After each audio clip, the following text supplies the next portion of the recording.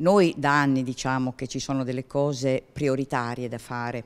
Fra queste la pulizia degli invasi che purtroppo ancora non è stata fatta, nonostante l'assessore Aguzzi lo avesse promesso, non appena insediato ha detto che si sarebbe messo in movimento per fare questa cosa e invece ancora è lì. Quindi quello che avremmo potuto prendere dalle piogge invernali e conservare per adesso non c'è. Al tempo stesso però si parla di un nuovo invaso, è un po' contraddittoria sta cosa, a parte che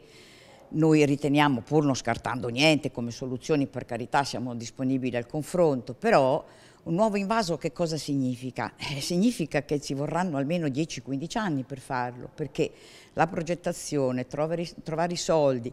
eh, il luogo eh, e tutto quanto, meno di quel tempo eh, non, non, ci si mette. E allora il problema non è che lo risolviamo perché non possiamo aspettare 10-15 anni, è ovvio, senza contare che un nuovo invaso significa 200-300 milioni di investimento, quindi somme enormi. Allora noi per esempio pensiamo che sia più utile fare una serie di laghi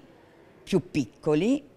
che costano molto meno, che in un anno si fanno, se uno ha voglia, e che ci possono risolvere i problemi anche nell'immediato. Poi per carità, senza scartare nulla, ma insomma dando delle priorità, questo è il punto.